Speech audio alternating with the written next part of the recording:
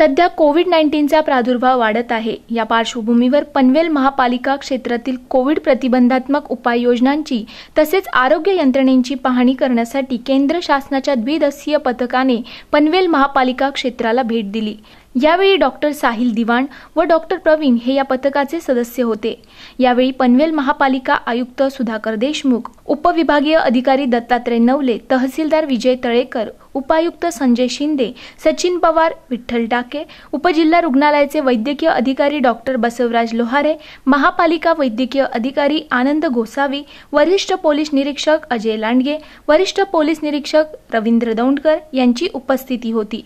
केंद्र शासनाच्या या पथकाने कोविडच्या पार्श्वभूमीवर पनवेल महापालिका क्षेत्रातील कोविड प्रतिबंधक सोयी सुविधांचा तसेच कोरोना प्रतिबंधक उपाययोजना राबवण्यासाठी पनवेल महापालिका प्रशासनाकडून जे नियोजन केले जाते त्याचाही आढावा घेतला.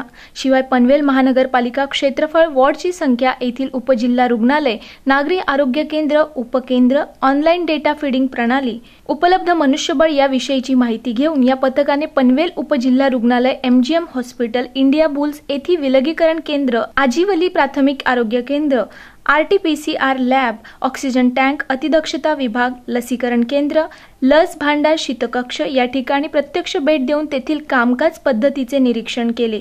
पनवेल महापालिका आयुक्त सुधाकर देशमुख यांनी त्यांना संगणकीय सादरीकरणाद्वारे याविषयी अधिक सविस्तर माहिती दिली.